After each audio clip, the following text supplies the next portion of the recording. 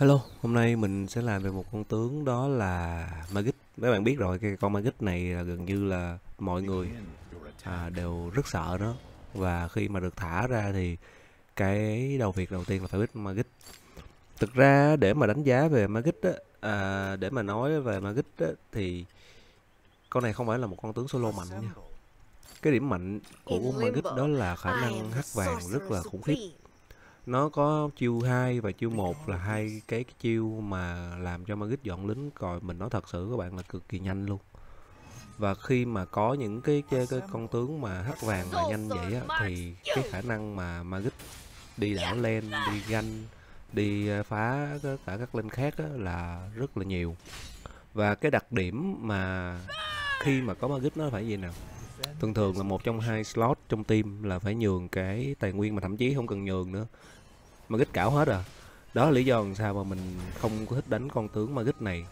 Thật ra không thích đánh con tướng ma gích này á, là tại vì con tướng này là các bạn phải đánh theo một cái lối đánh là rất là ích kỷ nha. Cái lối đánh này là các bạn là phải gần như các bạn farm triệt để luôn. Các bạn farm làm sao mà càng nhiều vàng càng tốt. Và con này thì cái chất tướng của nó farm cực kỳ nhanh còn nói về cái cái cái độ nguy hiểm của Magic ở khi đi lên ở kèo solo á, thì mình nói thật thì Magic không nguy hiểm đâu. Magic thua nhiều con á, chứ không có hề nguy hiểm tí nào hết.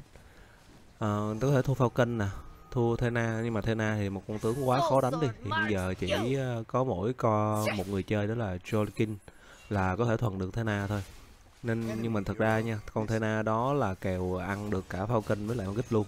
Nhưng mà rất ít người có thể thuần được nên thành ra Thena coi như là bỏ qua. Nhưng mà có kèo phi Falcon nè à, hất nè à, hay là thậm chí là muốn đánh cò nhây với Magic đó thì có Deadpool nè. Nhưng mà có cái vấn đề nằm ở chỗ này nè khi cái điểm mạnh cái điểm mạnh của con Magic không phải là solo. Mà cái điểm mạnh của con Magic đó là nó farm hắc vàng. Đó giờ pha này xuống là cảo hết nguyên dàn đít xong chạy lên ban đầu game á các bạn sẽ thấy Magic sẽ không hổ báo nhiều. Đánh cò cưa cò cưa các bạn đánh hòa lên được. Nhưng mà Magic đó khi mà nó farm à, đủ đồ à, nó nó nó farm được hắc vàng rồi á thì nó đánh rất là khủng khiếp.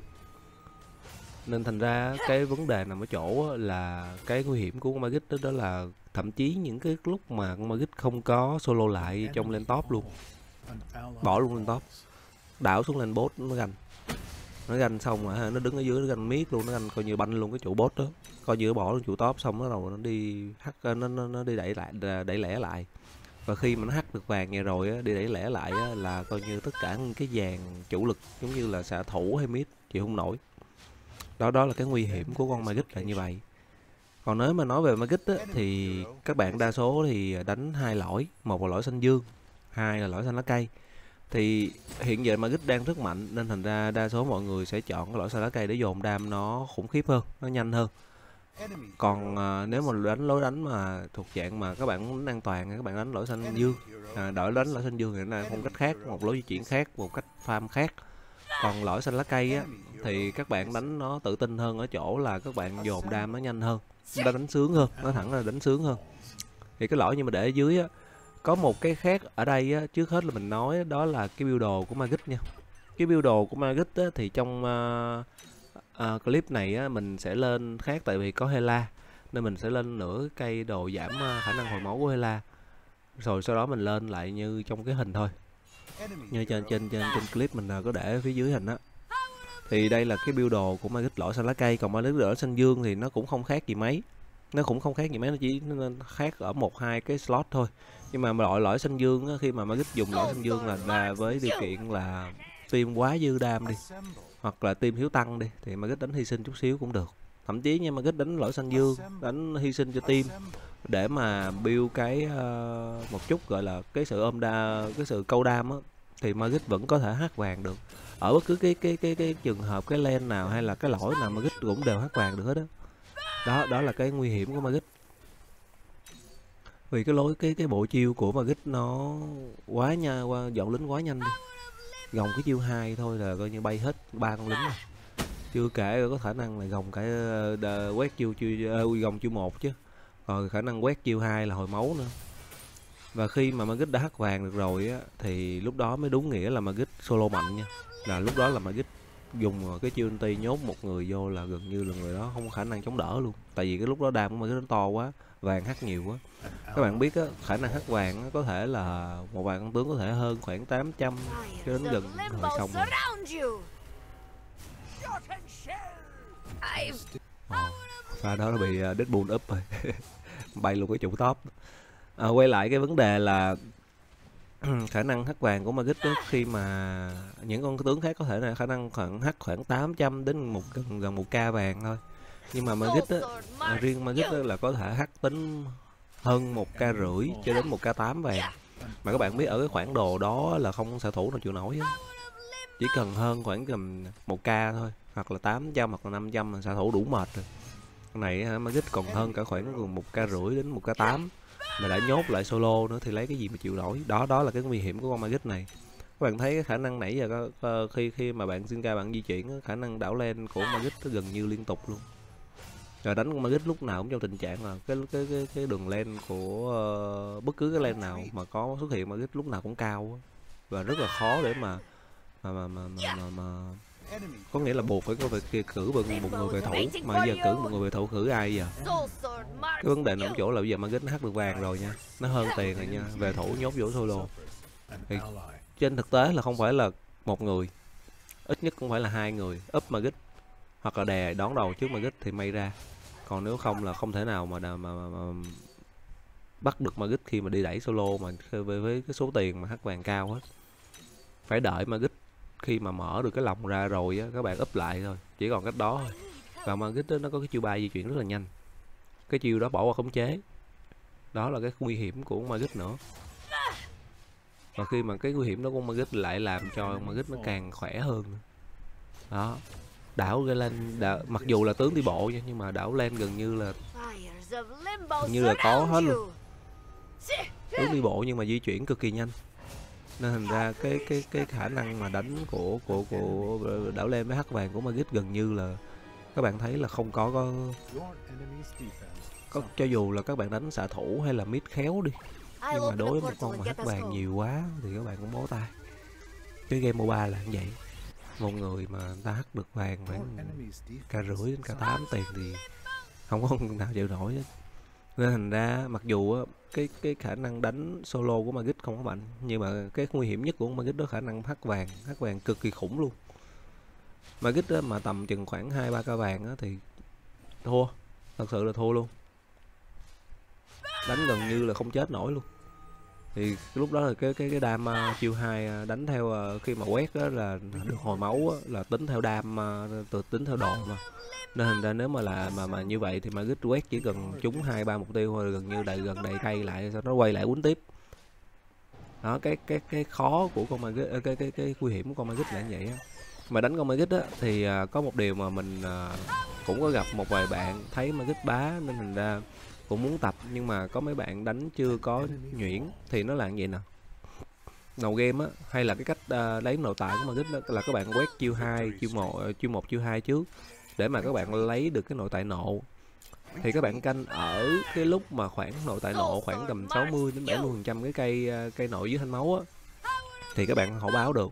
Và khi cây nộ đầy là các bạn hổ báo luôn cho dù các bạn chưa có ulti hay trong tình trạng solo thì lúc đó khả năng đánh với lại khả năng nhốt của các bạn à, khả năng solo của bạn nó sẽ được tăng lên rất cao. Đó đó là cái mà các bạn cần phải uh, chú ý ở cái giai đoạn. Có nhiều bạn thì ban đầu cứ thấy uh, mà nghĩ là khỏe trong giai đoạn đầu game các bạn lao vô các bạn solo. Thật ra thì uh, giai đoạn đó khi các bạn solo các bạn không để ý ở cái vấn đề đó là nó cái cây nổ nó chưa đầy. Mà khi cây nổ chưa đầy thì mà cái đánh rất là khó khó để mà solo lắm các bạn rỉa máu bằng chiêu 2 trước rồi các bạn khoa bằng chiêu 1 rồi các bạn cứ tích tích từ từ từ từ ra đủ thêm nộ khi mà nổ lên màu đỏ rồi đó là các bạn lao vô các bạn quýnh luôn quýnh quýnh nhưng mà nếu các bạn phải canh máu ví dụ như mà không được thì các bạn về xíu tại vì cái, lúc thời điểm đó mà gích đã đủ cái khả năng mà đánh và hồi máu rồi nên hình ra mà gích ra lúc đó các bạn có thể solo thậm chí các bạn không giết cũng được các bạn các bạn rỉa máu nhưng mà các bạn lại có lợi thế ở những cái tên lính là đợt sau đó đó là cái cách mà trong giai đoạn đầu khi mà Magic chưa có chưa có anh á, solo. Còn nếu như mà khi mà Magic có ulti Magic mà hắc vàng được rồi á, thì các bạn sẽ cố gắng các bạn đi bắt cho chủ lực thôi. Đó các bạn thấy cái chiêu vừa rồi của Scarlet Witch đó uh, stun Magic không có được. Tại vì cái chiêu ba Magic là miễn khống chế. Và đó cũng chính là cái nguy hiểm của con Magic thấy đang đi bộ tới tự nhiên muốn stun nó lại nhưng mà cuối cùng cái nó bấm chữ ba cái chạy đến dí luôn. Nên thành ra Magic gần như là ác mộng của những con tướng đi bộ nha.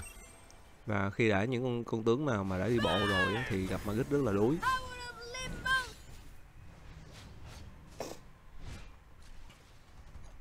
Khả năng hắc vàng của nó quá khủng khiếp đi. Và đánh con Magic này á, các bạn buộc phải có một cái đó là các bạn phải à, ích kỷ chút. Cái này mà nói thật cái này là các bạn phải ích kỷ một chút. Tại vì sao? Tại vì à, nếu như các bạn đánh mà các bạn nhường cái tên lính cho đồng đội á, các bạn đánh farm như bình thường á, thì các bạn đánh Magic này sẽ khá là phế đấy. Nên thành ra trong cái giai đoạn đầu game là các bạn đánh Magic là các bạn farm hết. Đụng gì farm hết. Thì cái đó này rất phù hợp với những anh em đánh solo. Thì đánh solo các bạn biết mà đánh ranh đâu có tin ai được. Đánh ranh thì chỉ, chỉ có tin bản thân mình thôi nhất là những bạn mà đánh uh, có khả năng uh, kỹ năng cao á, là các bạn chỉ uh, tin vô bản thân của của chính mình thôi. Nên thành ra à, đánh magic đó là các bạn cũng rất phù hợp ở cái vấn đề thôi thà tao gánh chứ không để mày gánh. Đó dạng vậy đó. Thì đó là cái chia sẻ của mình về con magic này. Cái build đồ thì nó chỉ khác ở một cái vấn đề đó là à, ở dưới là cái đai máu. Thì trận này có Hela nên thành ra bạn xin bạn lên cái à, uh, đồ giảm hồi máu với lại à, uh, Starlord với lại à, la cái giai đoạn play game á, thì Magic cũng phải cần cái đó để mà giảm hồi máu khi mà nhốt vô solo lỡ mà solo có xanh á thì solo bắn không có hồi mật nhiều máu. Đó đó là cái ý nghĩa của việc lên uh, đồ giảm hồi máu là cái búa tho ấy.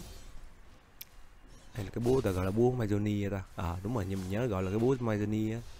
Đó đó là cái uh, cái cái cái khác uh, nói chung là mỗi một trận đấu thì khoảng ờ, 70 80 phần trăm slot đồ là giống nhau. Còn lại thì nhà hai slot đồ một đến hai slot đồ nó sẽ tùy biến theo trận đấu. Rất là hiếm những cái trận đấu mà các bạn lên gần như là ba slot đồ. Thì ờ, những cái, cái cái trận đó thì các bạn đánh nó sẽ phải uh, uh, khác liền chút. Nhưng mà cái trường hợp nó hiếm lắm đa số là những cái build đồ này là bảy sáu mươi bảy mươi phần trăm là các bạn đã dùng rồi. Đó, đó là cái chia sẻ của mình về con magic này và các bạn thấy khi mà magic mà hắc được vàng á à, đánh nó gần như là áp lực lắm nên thành ra đa số là người ta muốn cấm con magic là như vậy và các bạn nào muốn tập con magic á, thì cái combo nó nằm ở chỗ là các bạn dùng cái cái mới đầu là các bạn có vấn đề rỉa chứ đi ha là các bạn rỉa à là các bạn dùng chiêu hai các bạn dùng à, chiêu một các bạn dùng lính xong các bạn dùng chiêu hai các bạn quét kiếm rồi sau khi mà các bạn canh đối phương tại vì nó farm nhanh mà nên thành ra đối phương phải farm đứng nó farm thì các bạn đừng bất ngờ các bạn chạy tới các bạn hất một cái sau các bạn về dùng chờ cái lúc đó chưa hai hồi rồi các bạn lại dùng hai các bạn quét kiếm một cái. Đối phương mà muốn lao vô các bạn các bạn đứng các bạn gồng luôn. Các bạn đứng các bạn gồng luôn gồng chiêu một luôn. Và khi mà gồng chiêu một á cào gồng càng lâu á là cái đam càng to. Và có một đặc điểm nữa là chiêu một khi gồng là được giảm sát thương. Đó đó là cái cách combo rỉ máu của Magic. Còn nếu mà nói về à, khi mà Magic à, có anti à, muốn nhốt ai á, mà lúc đang có tiền á đó, đó thì dễ rồi các bạn cứ nha dùng chiêu ba các bạn vô các bạn hất một cái xong các bạn nhốt bạn nhốt xong đó rồi các bạn dùng chiêu hai nha chứ đừng dùng chiêu một nha xong rồi các bạn dùng chiêu một các bạn dùng chiêu hai các bạn quét rồi các bạn dùng chiêu một các bạn uh, uh, gồng nếu như đối phương đam cho các bạn thì các bạn dùng chiêu một các bạn gồng còn nếu không là các bạn vừa mới quét xong là các bạn lao vô các bạn đánh tay luôn tại lúc đó là cái nộ của magic là khi mà dùng ulti là nhốt vào là nó đã đầy nó nó mặc nhiên đầy luôn rồi và khi mặc nhiên đầy thì tăng nó sẽ tăng tốc đánh cái chiêu hai của magic khi mà quét là quét thành ba lần. Đó đó là cái mà lợi hại của cái nộ. Và cái chiêu hai mà quét ba lần là được gần như là ba lần hồi hồi được máu khi mà quét trúng đối phương hoặc là lính á. Quét trúng uh, tơ tướng thì được hồi mà nhiều máu hơn.